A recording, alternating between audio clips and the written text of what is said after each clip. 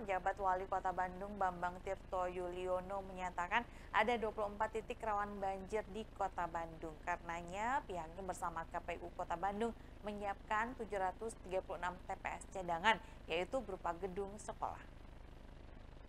Kota Bandung Bambang Tirto Yuliono menyatakan 24 titik rawan banjir tersebar di Kota Bandung.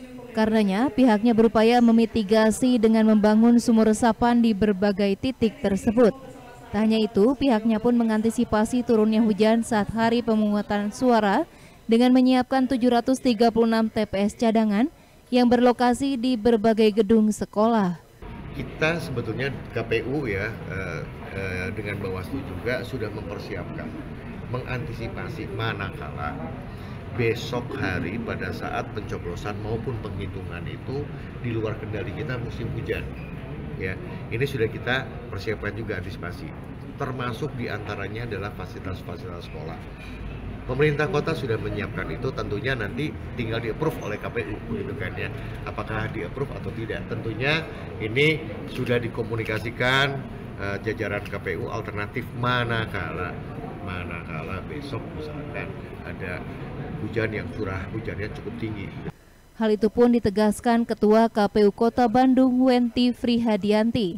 Pihaknya sudah berkoordinasi dari jauh hari untuk menggunakan gedung-gedung sekolah tersebut hingga tahapan rekapitulasi untuk mengantisipasi basahnya surat suara.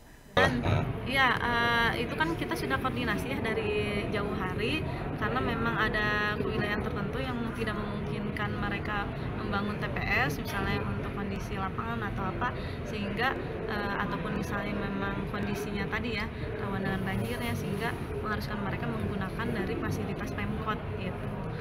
Selain TPS cadangan, KPU Kota Bandung pun menyiapkan 25 TPS khusus di 10 kewilayahan, di antaranya di rumah sakit, rutan, dan SLB.